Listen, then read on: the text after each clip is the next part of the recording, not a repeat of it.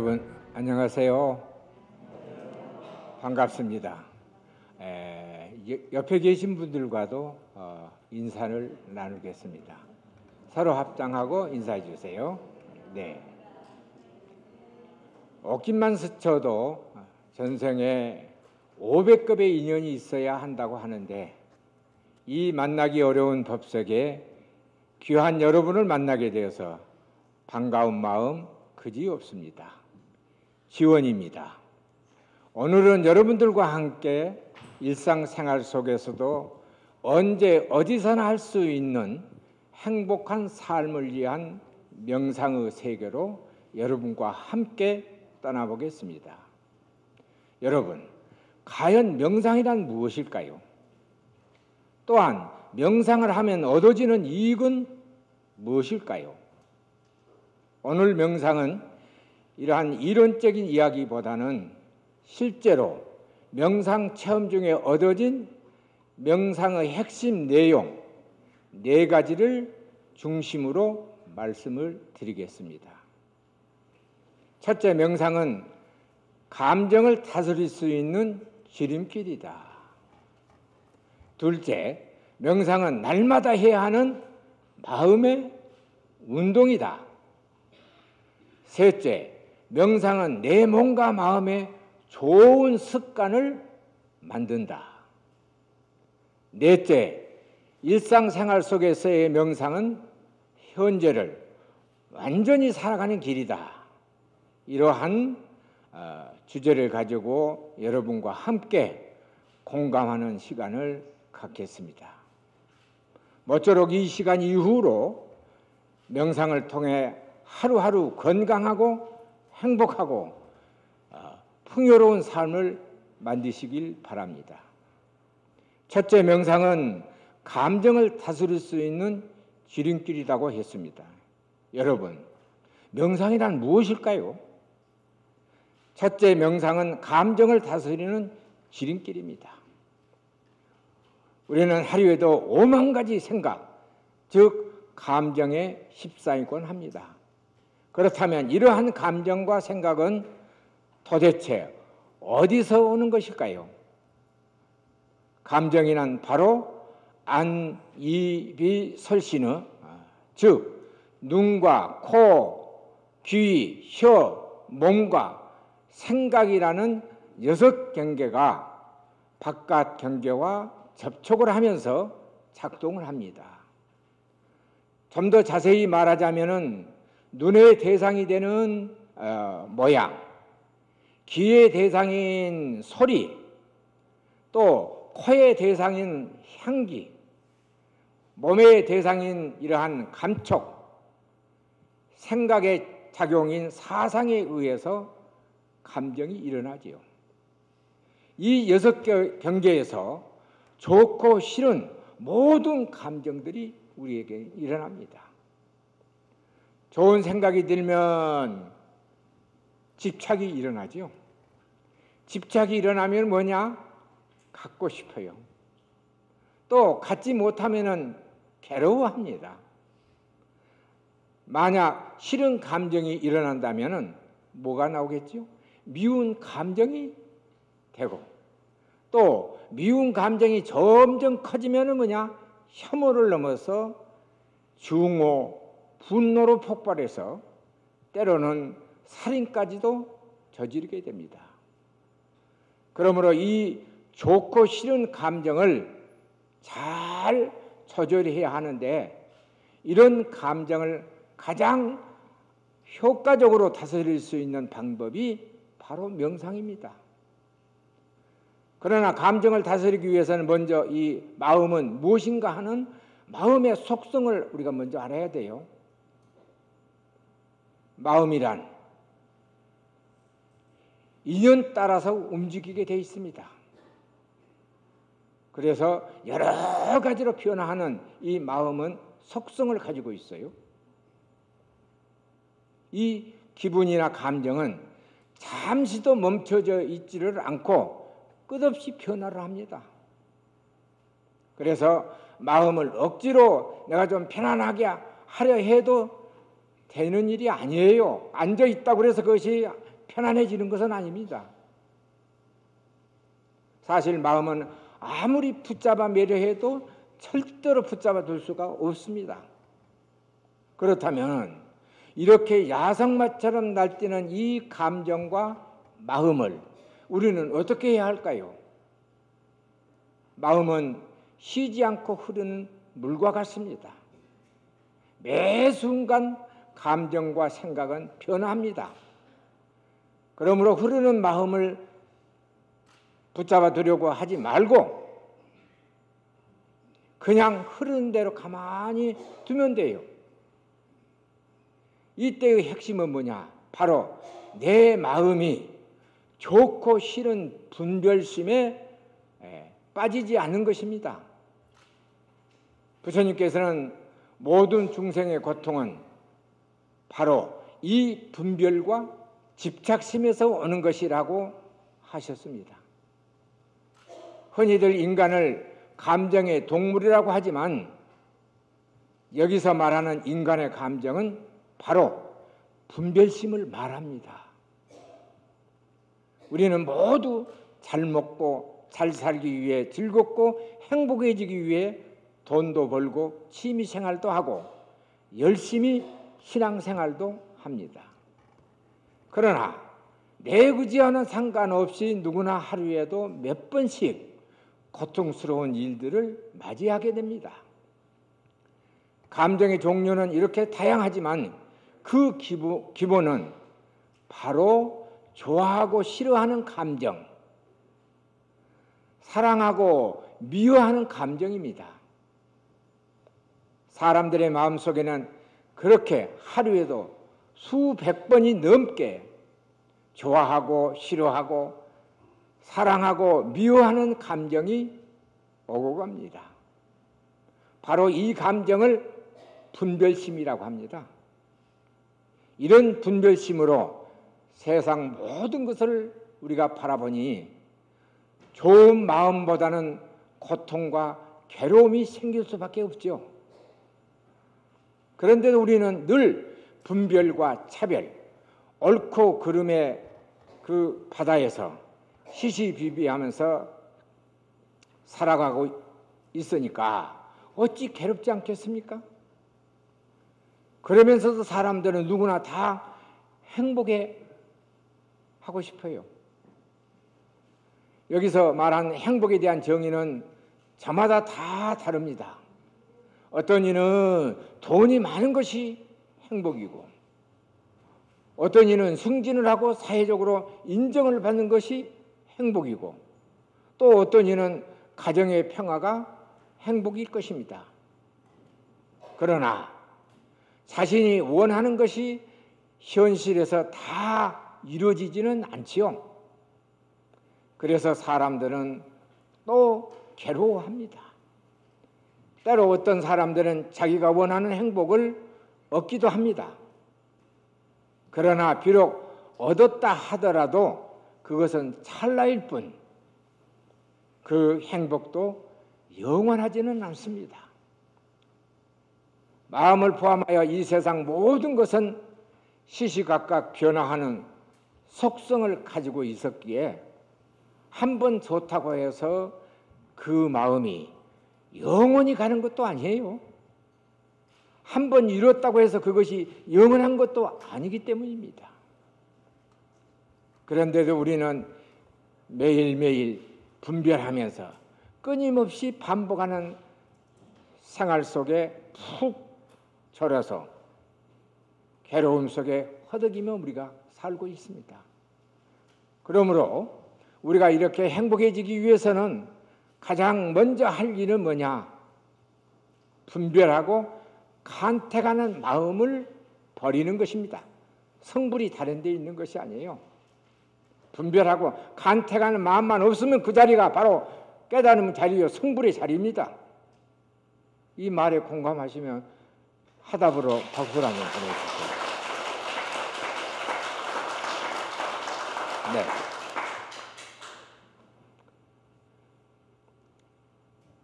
이것이 바로 명상의 가장 기본적인 마음가짐이에요.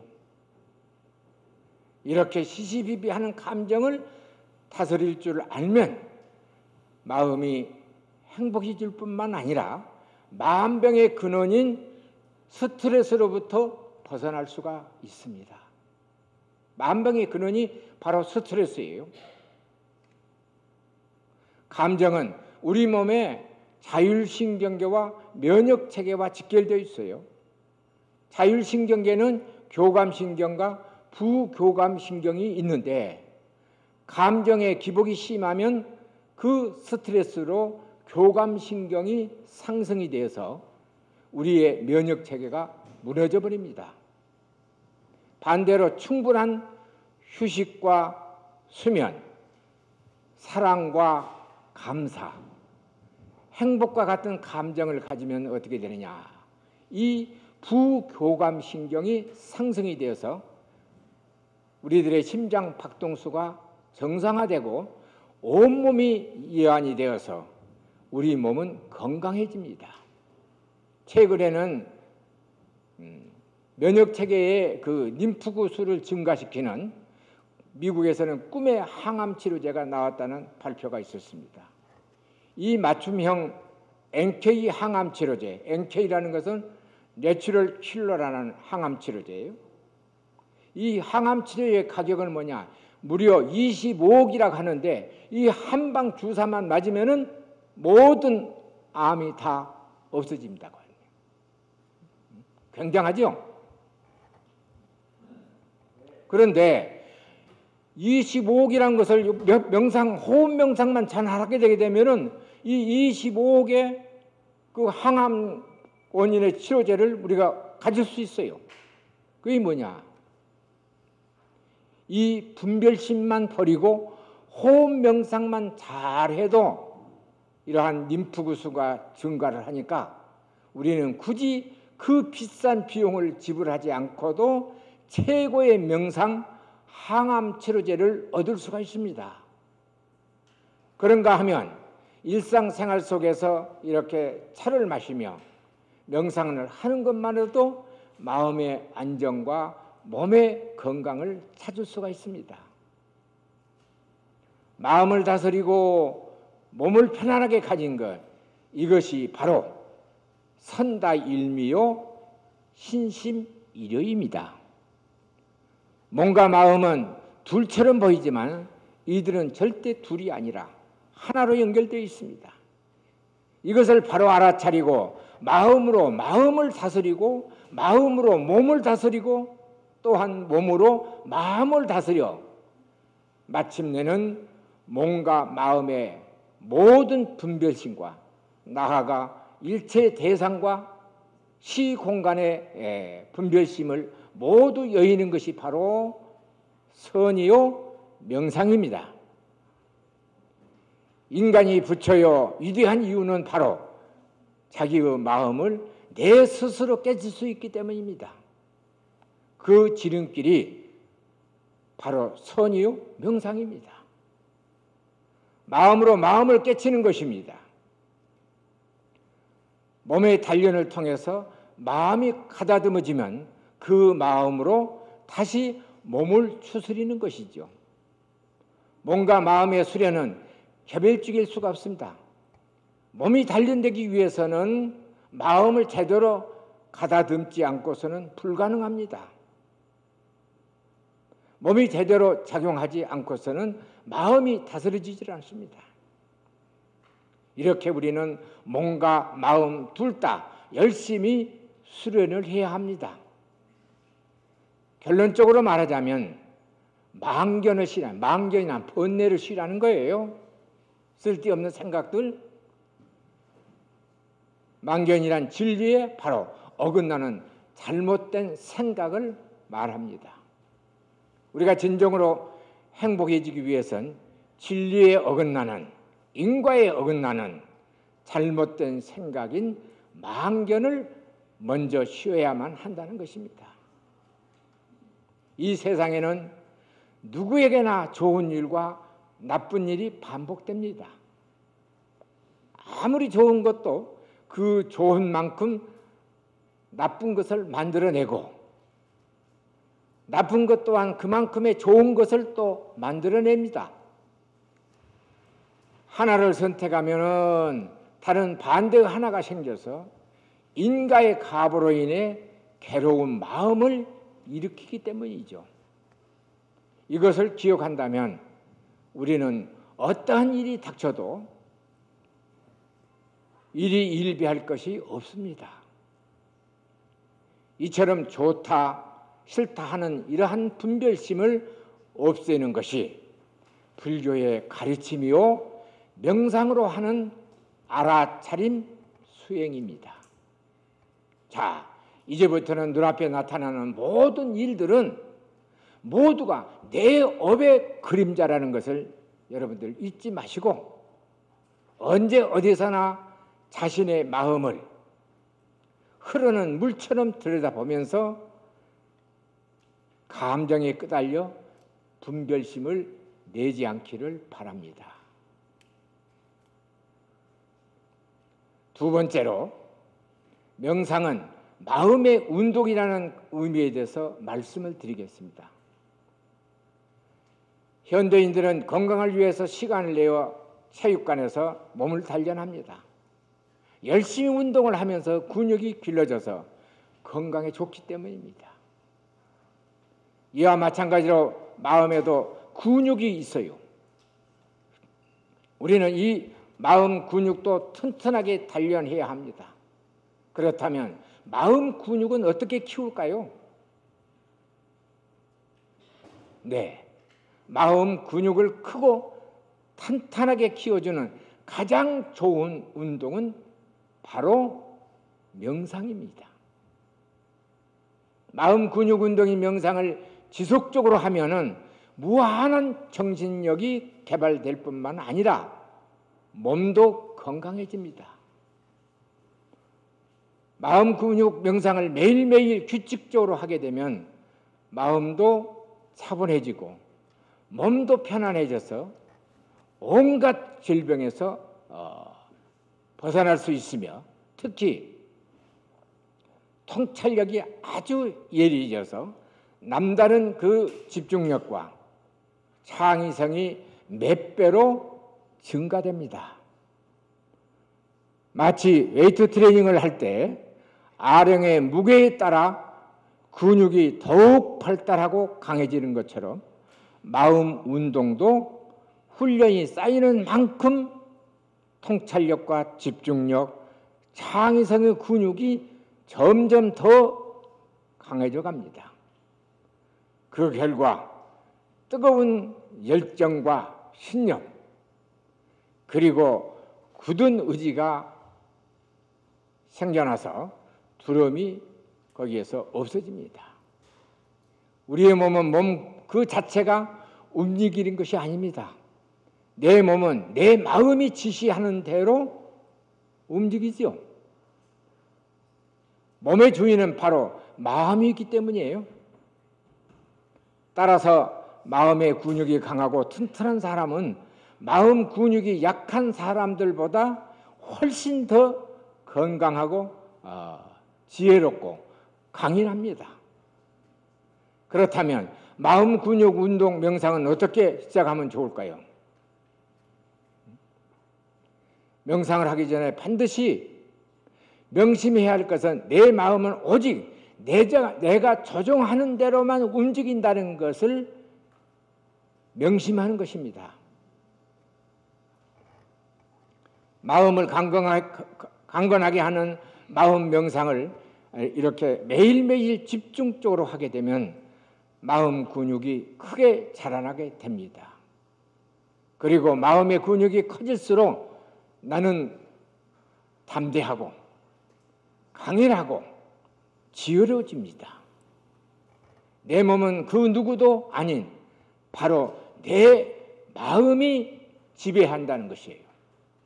내가 바로 나의 주인이며 주인공입니다. 세상은 내 마음이 그리는 대로 다 이루어집니다. 그러니 모든 생명을 키우고 살리는 우주 공간과 내 속에 잠재되어 있는 무한한 생명력을 자각하면서 늘 감사와 기쁨의 마음으로 일상생활 속에서도 언제 어디서나 명상, 즉 마음 운동을 하시기 바랍니다. 여기서 어, 이 체험을 마음 운동 체험을 해보려고 했습니다만은 정해진 시간이 있었기에 그를 생략하고 이 자리에서는 넘어가겠습니다. 셋째, 명상은 몸과 마음에 좋은 습관을 갖게 하는 것이다. 여러분, 인생은 무엇이라고 생각하시는지요? 우리는 인생은 무엇인가라는 그러한 질문에 선뜻 대답하기가 쉽지 않지요. 그러나 한마디로 대답하자면 뭐냐? 바로 나의 습관이 내 인생입니다. 우리의 하루는 다름 아닌 습관에서 시작되고 습관에 의해 하루가 마감됩니다. 이 습관은 사람마다 다 다릅니다. 어떤 사람은 아침에 일어나면 체조를 하고 어떤 사람은 명상을 하고 어떤 사람은 기도를 하고 산책을 할 것입니다. 어떤 사람은 늦잠을 자고 나쁜 음식을 먹고 틈만 나면 시기하고 질투하면서 화를 내, 내기도 할 것입니다. 이렇게 습관은 그 사람을 만들고 그 사람의 인생을 만듭니다. 나의 작은 이 습관이 하나의 카르마, 업이 되고 나의 전체 인생이 되는 것이지요. 여러분, 절에 가면 천수경을 우리가 독송을 합니다. 그 첫 구절이 뭐지요? 네, 그렇습니다. 좋은 구업지는 수리수리 마하수리죠. 우리는 그 뜻도 모르고 우리는 기관이 뭐가 그냥 마술 부리는 것처럼 뭐가 나타난 줄 알고 있는데 그 뜻은 뭐냐? 바로 어, 즉 잘못된 습관을 수리수리 산스크리트예요. 수리수리라는 것은 뭐냐? 집수리, 옷수리를 하면 깨끗해지죠. 어? 아리랑이 여러분들 불교 참불과 제1호라고 저는 주장하고 있거든요. 응? 아리랑. 아리랑이 뭐냐? 나자의 위치 있자. 나를 다스릴 줄 알으면은 고통과 고뇌로부터 벗어난다. 그게 아리랑, 아리랑 고개로 넘어간다. 응? 쓰리, 쓰리랑, 쓰리가 뭐요? 가슴 쓰리고, 아리는 뭐요? 가슴 아리 되는 거요. 나가 내 마음을 다스릴 줄 알면은 그런 아리고 쓰리는 인생사를 벗어날 수 있다는 얘기예요. 그런데 우리는 우리의 순수한 우리의 말도 이해를 못하고 살고 있습니다. 그래서 오수리 하면 깨끗해지듯이 거듭거듭 몸과 입과 생각은 신구이를 깨끗이 수리라는 것이죠. 마하수리는 크게 깨끗하게 수술이 좋아져서 사바하 모든 것이 속히 이루어진다는 내용입니다. 재미있죠? 이렇게 얘기하니까. 음. 이 말은 뭐냐? 이 수리 수리를 외우는 것은 뭐냐? 다시 말해 습관을 바꾸라는 말이에요. 일리엄 제임스는 질서를 습관화할 때 비로소 우리는 진정으로 흥미로운 그러한 분야에 뛰어들어서 하나씩 이루어 나갈 수 있다라고 했습니다. 내 일상의 하나의 행위가 매일매일 모두 좋은 습관으로 이루어진다면 이보다 더 좋은 것은 없을 것입니다. 우리가 알고 있는 대부분의 훌륭한 예술가들은 자신이 정해놓은 규칙을 철저히 지켰습니다. 그것이 몸에 밴 습관이 되었죠. 차이코프 스키는 날씨에 상관없이 매일같이 두 시간씩 산책을 했습니다. 일본의 유명한 소설가 무라카미 하루키는 새벽 4시에 일어나서 대여섯 시간 동안 글을 쓰고 오후에는 달리기나 수영을 했다고 합니다. 이렇듯 세계에서 이름을 떨친 사람들은 자기만의 규칙이자 질서를 잘 지켜내었습니다. 그래서 이들의 습관을 이리한 습관이라 할 수 있습니다. 습관은 한 방울의 물을 쉼없이 어, 떨어뜨려 커다란 항아리를 가득 채우는 것과 같습니다. 그리고 나의 인생이라는 항아리에 어떤 물을 떨어뜨리는 습관을 어, 갖느냐에 따라서 좋은 습관은 성공으로 나쁜 습관은 나의 인생을 실패로 이끌고 가버립니다. 명상하는 습관, 남을 배려하는 습관, 소통하는 습관, 정리 정돈을 잘하는 이러한 습관 등 좋은 습관을 가진 사람은 자신의 사람, 삶을 성공적으로 창조하는 사람입니다. 하지만 늦게까지 술 마시는 수, 순간,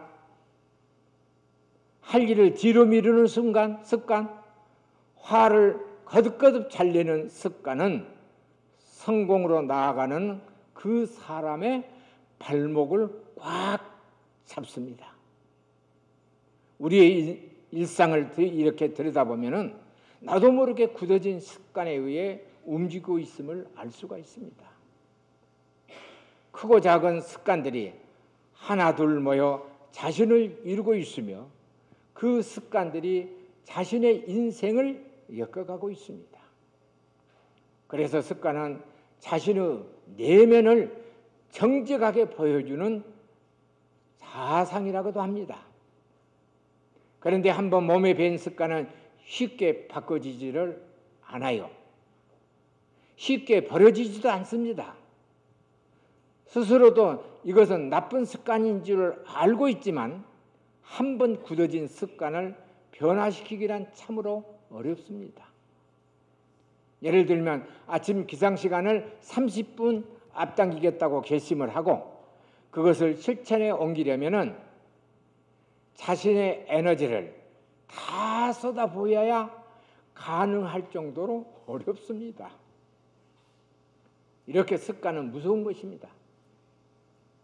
나쁜 습관 혹은 작은 허물인 것을 알면서도 이것이 내게 무슨 영향을 미치리라 하여 가벼이 여긴다면 쌓이고 쌓여서 나중에는 돌이킬 수 없는 그러한 결과를 가져올 수 있습니다. 그러나 습관이란 타고난 것이 아니기 때문에 얼마든지 이 습관을 바꿀 수가 있습니다. 다만 습관을 바꾸기 위해서는 뭐냐? 강한 그 의지력을 필요로 하고 있어요. 이 내라는 것은 변화를 싫어하기 때문에 바뀌지 않으려고 스스로 통제를 합니다. 따라서 통제하고 있는 이 뇌를 이기기 위해서는 어떻게 해야 하느냐? 연속된 마음을 가져야 합니다. 습관은 반복된 습관에 의해 만들어졌기에 버리는데도 시간이 필요하는 거예요. 보통은 21일, 41일, 49일 정도 몸과 마음을 단련하는 명상을 하면 뇌를 설득해서 습관을 바꿀 수가 있어요. 그러니 여러분들도 어쩌다 한 번씩 명상을 하지 말고 최소한 21일을 지속적으로 명상을 하면서 내의 습관을 긍정적으로 예, 바꾸어 내 인생을 행복하게 변화시키기 바랍니다. 넷째, 차를 마시고 선 명상을 하는 것은 뭐냐? 현재를 온전하게, 안전하게 살아가는 길입니다. 우리가 평소 차를 마시고 명상을 하는 목적은 무엇일까요? 그것은 바로 지금 이 순간을 똑바로 알아차리라는 뜻입니다. 이빠사나 알아차림이라고 그러죠? 알아차려야죠. 우리 중생들의 시간 개념은 어떻게 되냐? 과거와 현재와 미래로 이렇게 세 개로 나눠져 있습니다. 그러나 과거는 이미 지나가 버렸고 미래는 아직 오지 않았습니다. 그런데 우리는 이미 지나간 과거를 가지고 얼마나 애를 쓰고 있어요. 그래서 과거는 과거대로 지나갔고 현재는 현재고 미래는 미래 오지 않았습니다. 가장 중요한 것은 지금 이 순간이에요. 오후가 다음 이 시간이 아니라 지금 이 순간에 나를 변화시키라는 거예요. 이것이 바로 토노돈수요. 멀록 깨닫는 현장에서 그대로 깨서 이 습관을 음, 없애버리는. 우리에게는 지금 이 순간, 항상 지금 우리에게는 현재밖에 없습니다. 미래는 가상의 시간이요, 상상의 시간이기 때문입니다. 미래의 시간도 나에게로 오는 순간, 한순간 또 현재가 되어버리죠. 그런데도 수많은 사람들은 지난 과거에 얼마나 묶여 살고 있습니까? 또 아직 오지 않는 허상의 순간을 미래를 우리는 또 살고 있어요. 마음의 이 습성은 과거로 달려가 불쾌한 기억을 어, 끄집어내어 가지고 괴로워하거나 또 미래로 달려가 일어나지도 않는 일에 대해서 우리는 얼마나 불안해합니다. 난중에 행복할 거야. 난중에 별 볼 일 없는 거예요. 난중에 건강할 거야. 지금 이 순간에도 건강을 못하면서 뭐 건강하기? 그러나 미래는 아직 오지 않았습니다. 오직 지금 이 순간밖에는 없습니다. 행복도 건강도 바로 지금 이 순간에 이루어지지 않는다면 영원히 이루어지지 않습니다. 그래서 현명한 사람은 과거에 얽매이지 않고 미래에도 집착하지 않으며 지금 현재를 최선을 다해 사는 사람입니다. 부처님께서 금강경에서도 말씀하시기를 과거심도 불가득 현재심도 불가득 이런 말씀하시죠. 미래심 과거심 그러니까 과거심도 없고 현재심도 없으면 미래심도 없다라고 하십니다. 이것은 오늘 마땅히 해야 할 것은 지금 열심히 하라는 의미예요. 이와 같이 지금 이 순간을 완전하게 살아가는 것이 무엇보다 중요합니다. 진실로 행복하고 여러분들 행복하고 싶어요? 그렇다면 어제의 일은 어제에 오늘의 일은 오늘에 내일의 일은 내일에 맡겨버리세요. 과거의 시간에도 미래의 시간에도 매달리지 말고 여기 지금 이 순간을 살아야 합니다. 이 말은 내가 어디서 무슨 일을 하든 그 일을 존중하고 인정을 한다면 현재의 삶에 최선을 다하라는 것입니다. 현재에 집중하지 집중하다 보면은 삶의 그 만족도가 아주 크게 상승합니다. 이것이 바로 임재 스님이 말한 수처 작주 입처 개진의 뜻으로 매 순간 자기의 삶의 주인공이 되라는 것입니다. 우리는 우리 삶의 주인공이 되어야 돼요. 그렇다면 어떻게 해야 주인공이 될 수 있을까요? 지금 파, 여러분이 자신이 발을 딛고 있는 이 자리에서 지금 이 순간만을 사는 것이 바로 주인공으로 사는 것이에요. 이렇게 삶은 나로부터 어, 시작하여 지금 여기에서 이루어지는 것임을 우리는 바로 알아야 할 것입니다. 이렇게 선, 즉 명상은 여기 지금 이 순간을 행복하게 사는 현존의 생활 바로 지혜입니다. 법에는 다른 어떠한 특별한 법이 없습니다. 곧 마음이 붙여요 죽심시불입니다. 단지 분별심만 내려놓으면 좋다 싫다 사랑한다 싫어한다 이런 분별심만 내려놓으면 되는 거예요. 반드시 하루에만 또 매일 매일 필요도 없습니다. 번뇌망상을 다 떨쳐버릴 수 필요도 없어요. 번뇌망상을 내가 떨쳐버려야 되겠다 는 그 필요도 없습니다. 지혜로운 사람은 분별과 조작과 시비가 없으나 어리석은 사람은 분별심과 불안과 근심에 스스로 사성 잡아가고 있는 것입니다. 그러니 분별과 예, 시비만 버리면 됩니다. 세상을 살면서 무슨 일이 일어나든 그냥 일어나는 대로 물 흘러가듯이 그냥 두면 됩니다. 매주발 고주발 할 필요도 없어요. 마음을 가지고 마음을 쓰니 어찌 크게 그릇됨이 아니랴. 마음이 곧 법이고 마음이 부처입니다. 그래서 부처님께서는 스스로 등불로 삼고 법으로 등불을 삼으라는 자등명, 법등명을 윤으로 남기신 것이에요. 자등명, 법등명. 즉, 자신이 청정함을 알아차리기만 하면 됩니다. 깨달음이란 다른 것이 아니라 내 마음의 속성을 보는 것이에요.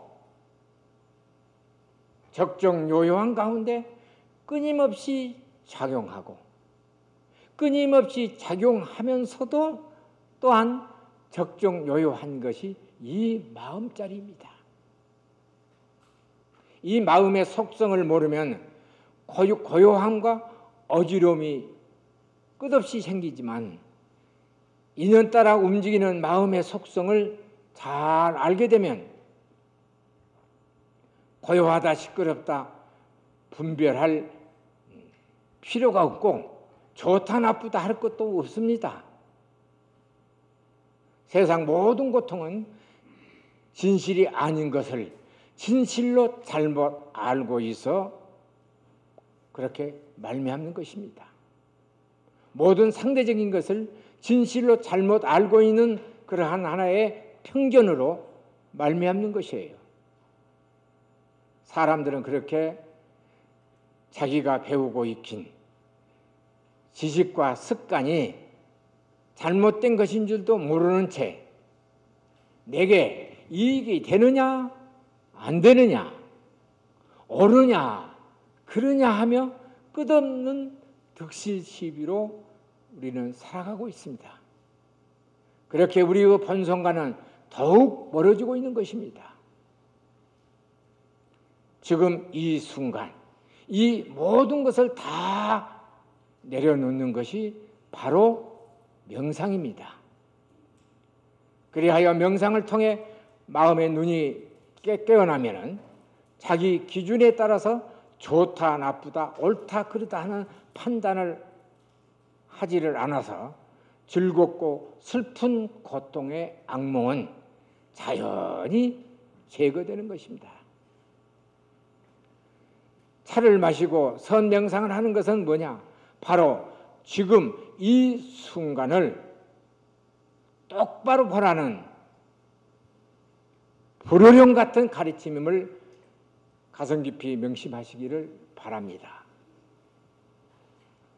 그럼 마지막으로 건강 호흡 명상을 하면서 행복한 삶을 위한 명상이라는 주제를 가지고 40, 약 한 40분 동안 행복했던 시간을 마무리하도록 하겠습니다. 에, 지금 알려드릴 명상은 일반 호흡 명상과는 달리 호흡을 중간에 멈추는 지식 호흡을 활용한 건강 명상법으로서 이 명상은 집에서나 직장에서나 차 안에서나 언제 어디서나 일상 중에 늘 하시면 건강에 큰 도움이 될 것입니다. 그러면 먼저 호흡 방법을 말씀드리겠습니다. 먼저 숨을 더 고른 후에 코로 천천히 숨을 들이쉽니다. 목과 배를 거쳐서 단전에 이르러서 숨을 멈추면서 홀수로 하나 하나를 할 때는 딱 1초예요. 셋 다섯 일곱 아홉 열하나 열셋 열다섯을 마음속으로 센 후에 들어 마실 때보다 두 배로 천천히 내쉬면서 이렇게 들이쉬고 내쉬기를 이렇게 반복을 합니다. 이 지식 호흡 명상은 많은 양의 산소를 몸에 공급하므로 기본 명상보다 두 배 이상의 산소양을 몸에 공, 공급하게 됩니다.